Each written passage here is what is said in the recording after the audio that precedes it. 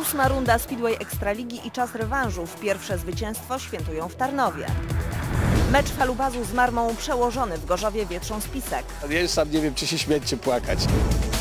Rycerze na koń, żużlowcy na motory. Wokół toru obszerna relacja z turnieju o koronę króla Bolesława Chrobrego. Zdobyć motoarenę drugi rok z rzędu. To było marzeniem żużlowców Keinum Stali w ósmej rundzie Speedway Ekstraligi.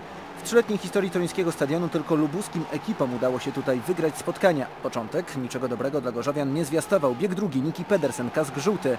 Najpierw dał się minąć Runemu Holcie. Na ostatnich metrach szybszy był jeszcze Adrian Miedziński. Kłopoty miał też mistrz świata Tomasz Golob. Zwycięstwa przeplatał trzecimi miejscami, co na motoarenie jest niezwykłe. Przed tym starciem z 24 biegów na tym torze wygrał aż 19. W niedzielę pogorszył te statystyki. Tu w biegu siódmym nie był w stanie dogonić Chrisa Holdera i Adriana Miedzińskiego. Chris zrobił świetną robotę na pierwszym łuku. E, Ja przegrałem start. E, Schowałem się, wjechałem w krawężnik. Chris zrobił całą robotę i podziękowania dla niego za ten bieg. Jeszcze pracujemy z mechanikami, szukamy tego pola, tego momentu startowego. Jest pro problematyczne, tak? E, Tłumiki strasznie duszą e, nam moc i nie wiadomo co znaleźć, czy na start, czy na pole. Po 11 biegu Unibax na wyciągnięcie ręki miał punkt bonusowy. Prowadził 16 punktami. Kluczowa była gonitwa następna.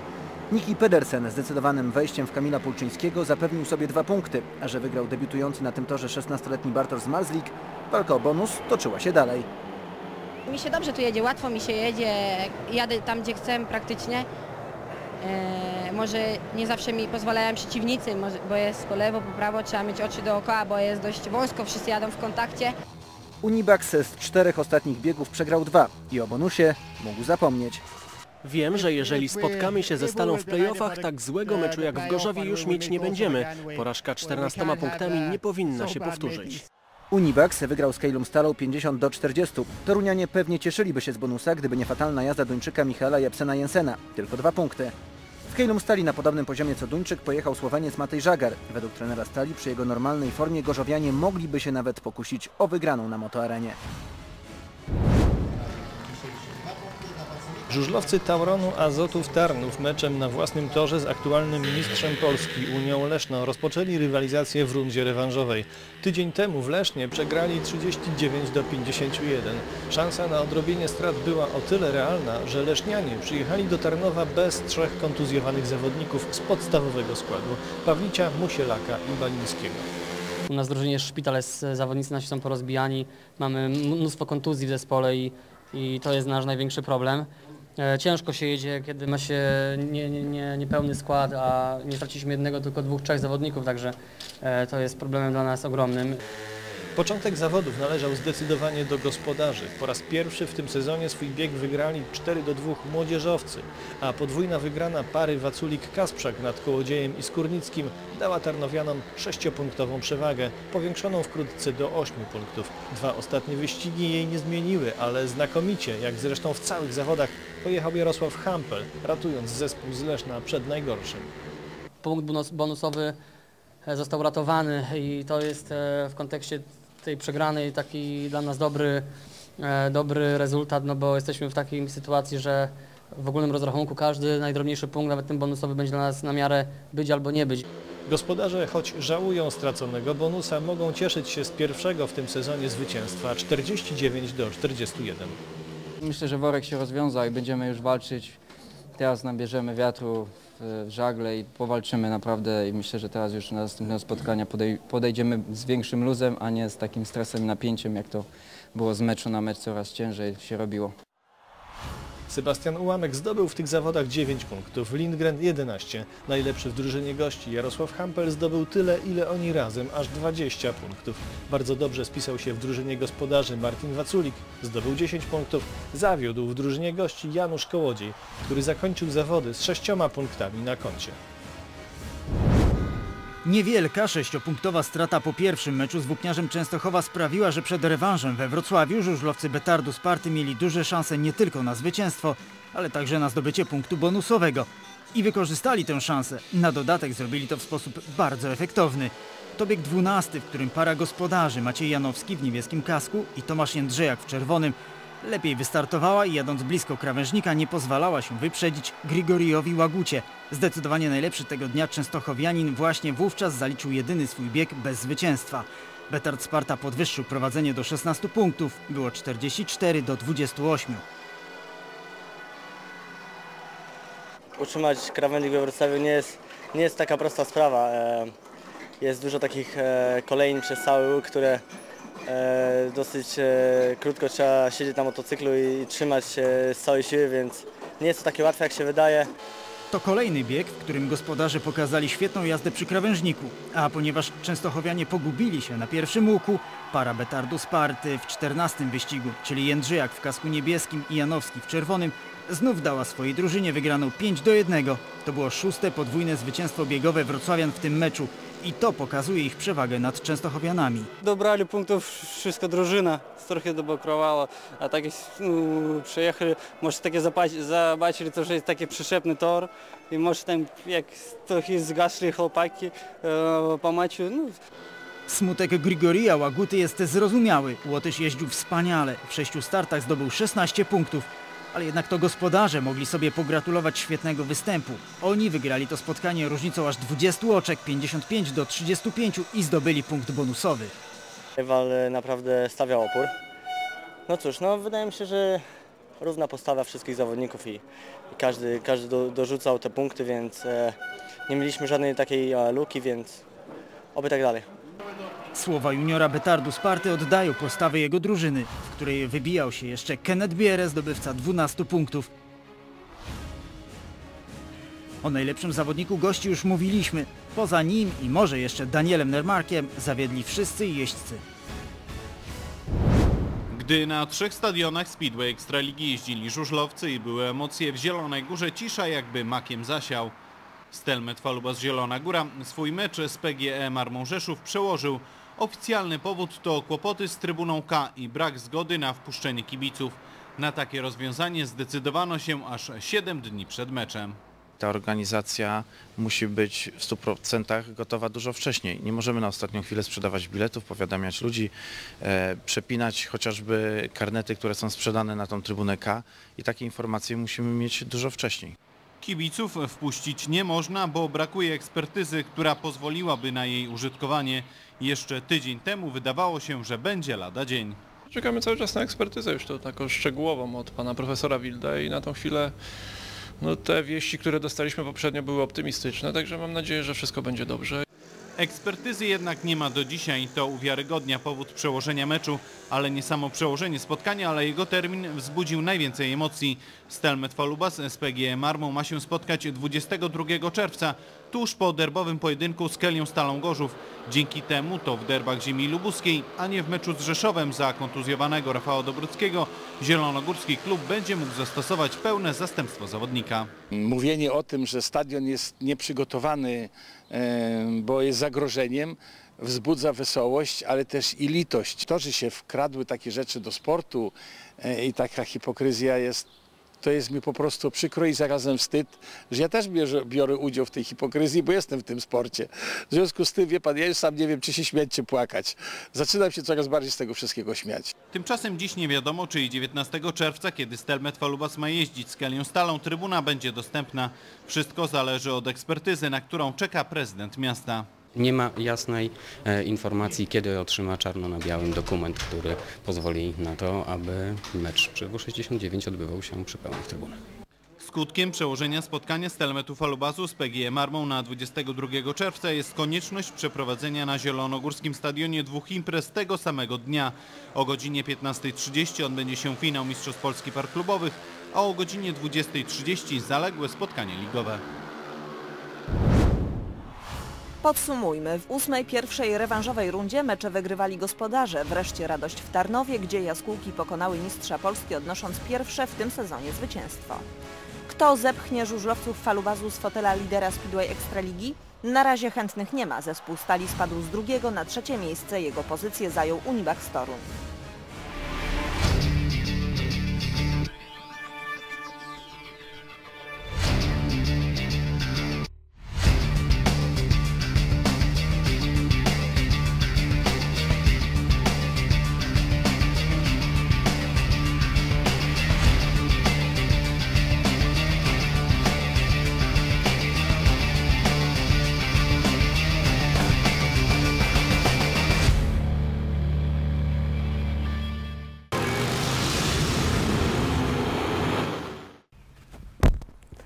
Ledwo tylko odrosłem od ziemi, trochę więcej niż metr, a już chciałem być gwiazdą futbolu.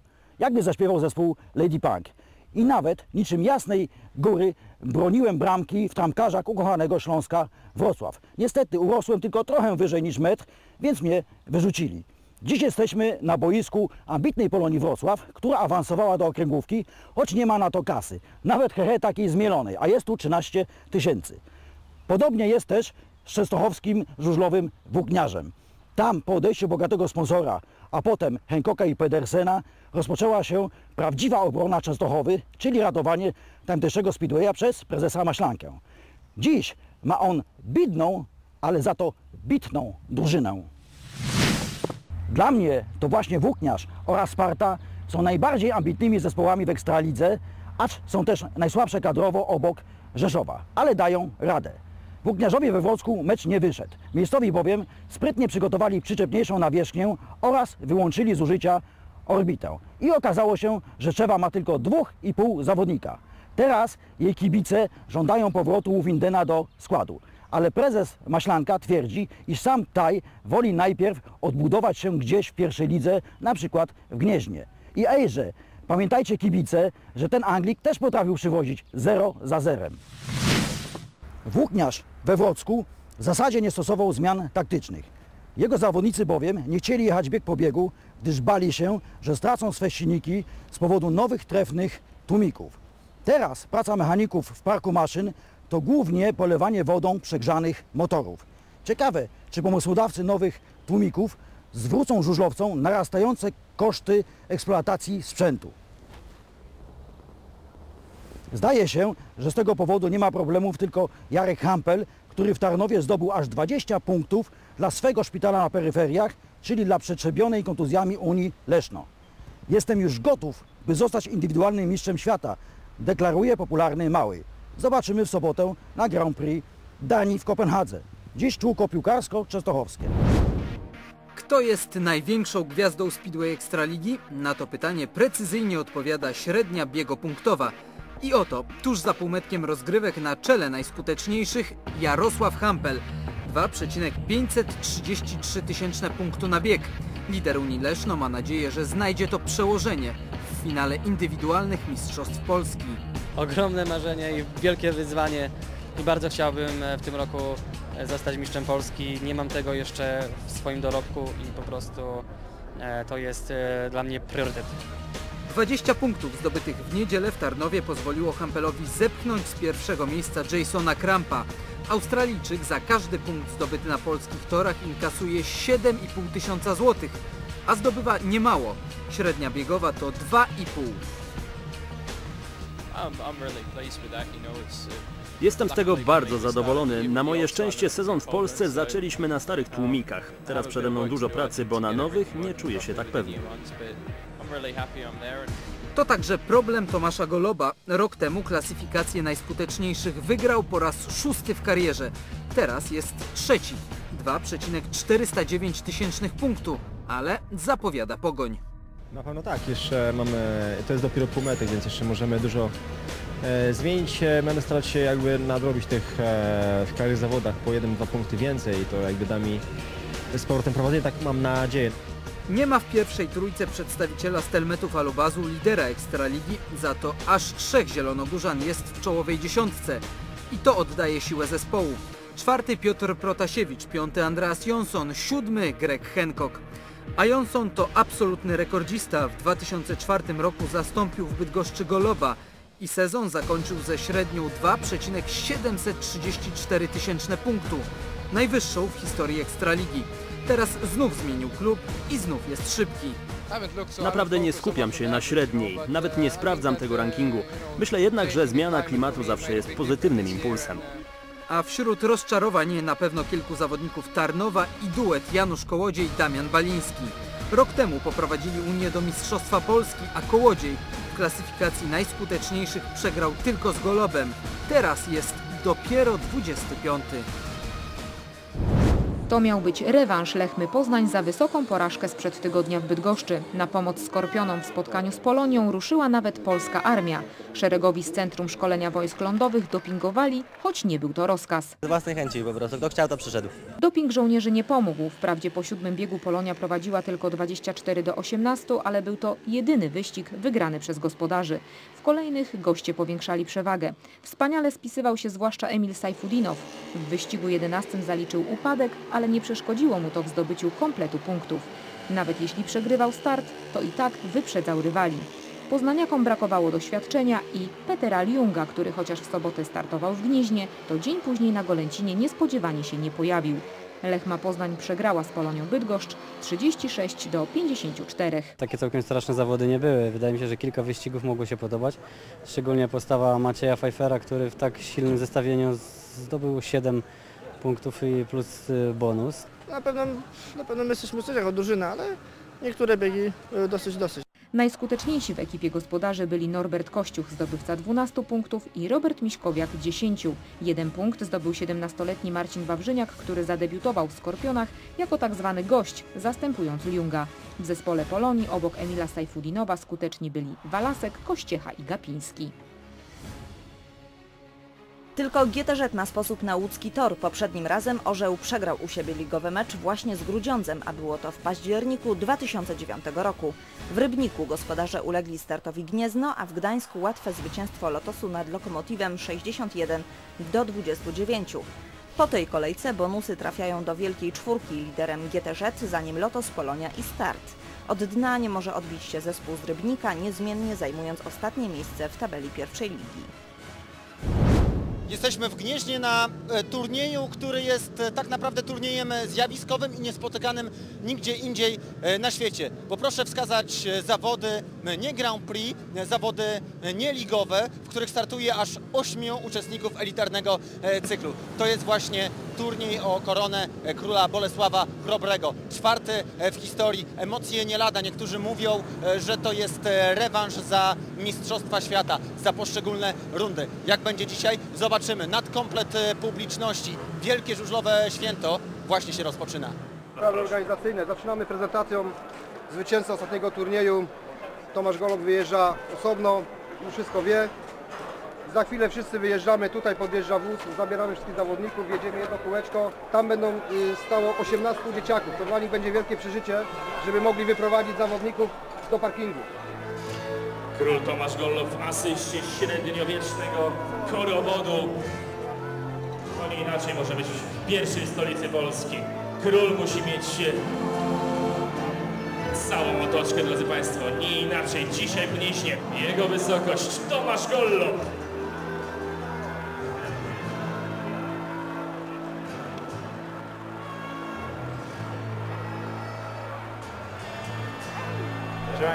Myślę, że nigdy inny jak właśnie ten zawodnik zasłużył na takie królewskie przyjęcie w królewskim mieście Gnieźnie.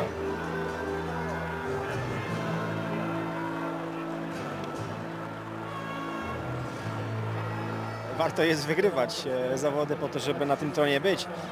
Takie uczucie, jakby miał e, pod sobą całe miasto, co najmniej, tak? Walka o koronę Bolesława Chrobrego zobowiązuje, ale z wiedzą zawodników o pierwszym koronowanym władcy Polski było różnie. Był królem bardzo dawno temu. No pierwszy król Polski To i tak dużo. w 1025 bodajże koronowany, więc tak historię nie omijałem w szkole, trochę się pamięta. Pytanie, czy wiesz coś o Bolesławie Chrobym? Tak, no oczywiście, ale nie chcę się tutaj w tym, tym momencie rozgadywać, e, no nie mogę nie wiedzieć po prostu. Znam tego faceta, absolutnie. Wszyscy wiedzą, kto to był. Czytałem o nim, opowiadano mi o nim. Sławna postać. Gdy już braki w wiedzy historycznej zostały nadrobione, można było wyjechać na tor, a było co oglądać. Gonitwa numer dwa. Rękawice mistrzowi świata rzucił Brytyjczyk Scott Nichols i był bliski szczęścia. O jego przegranej zadecydowały ostatnie metry. Kolejny bieg i znów zawrotne prędkości. Mirosław Jabłoński tak uciekał przed Grigorijem Łagutą, że pobił rekord toru. Cztery okrążenia pokonał o dwie setne sekundy szybciej niż 9 lat temu Krzysztof Cegielski. Jechałem bardzo szybko, wiedziałem, że jadę bardzo szybko, jednakże wiedziałem też, że popełniłem kilka błędów na ostatnim okrążeniu i dlatego mnie Gregorio Łaguta doszedł, ale nie, nie myśli się o tym, naprawdę nie myśli się o rekordzie toru, ale to cieszy i buduje na przyszłość, że jest się szybkim i że trzeba pracować nad tym, bo można wygrywać z najlepszymi. Wyścigiem dnia bez wątpienia ostatnia gonitwa serii zasadniczej. Artiom Łaguta w niebieskim, jeszcze na czele. Za chwilę jest już trzeci. Do walki o wygraną zabrali się Emil Sajfuddinow w żółtym i Tomasz Golob, kask czerwony. Górą Rosjanin. Bieg naprawdę był fajny, rzeczywiście można zaliczyć do jednego z lepszych w tym turnieju. I wreszcie wielki finał. I znów Tomasz Golob i Emil Sajfuddinow w roli głównej. Rosjanin prowadził praktycznie od startu. Polak musiał się przedzierać na drugie miejsce. Czasu na dogonienie żużlowca Polonii już zabrakło. Sajfuddinow zdetronizował Goloba i został nowym królem gnieźnieńskiego toru. Ja miałem dzisiaj nowy silnik od Ashley. Chciałem bardzo mu podziękować, że bardzo zrobił dobry silnik. My mieliśmy trochę problemów na początku zawodów, ale na finał się akurat się trafiło, żeby w przełożenie i wygrałem. Cieszę się, że stałem teraz królem i bardzo się mierzyłem o tym. Zdarza się przy, w bitwie, jeden król wygrywa, drugi przegrywa, no więc ja dzisiaj byłem drugi, z czego się bardzo cieszę. Szukam cały czas w ustawieniach sprzętu, to nie jest takie pro, proste, żeby trafić w to, co się chce. Golob i tak dla wielu pozostał niekwestionowanym numerem jeden. Świadczy o tym liczba zdjęć z kibicami i zainteresowanie tych, którzy do parku maszyn dostać się nie mogli.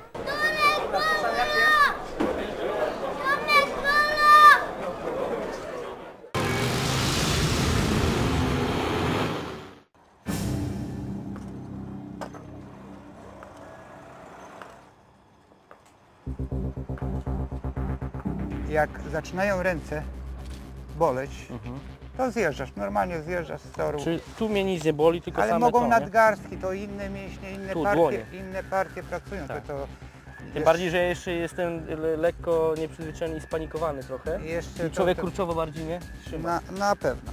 Aby uspokoić Leszka Blanika, Zenon Plech postanowił sam wyjechać na tor. Oto lekcja pokazowa w wykonaniu mistrza.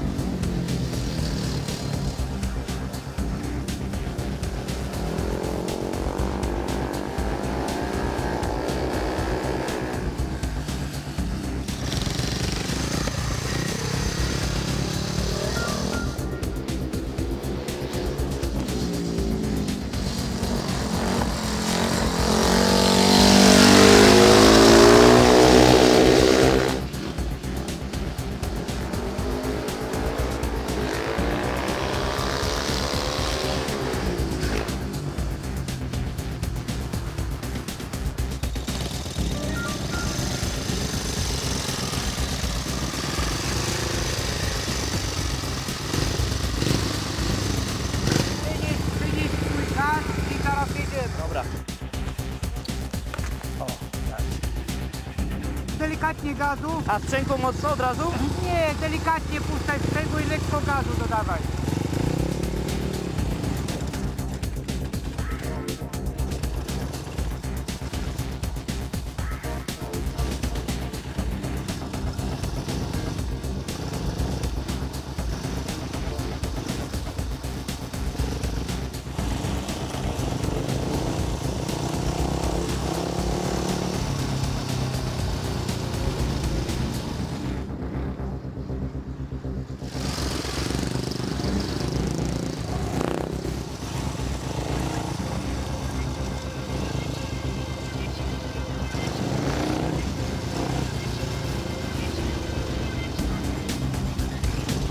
Pewno jest trudniej nauczyć y, człowieka w wieku Leszka jeździć, ponieważ y, są to już jakieś przemyślenia i wiek i tak dalej.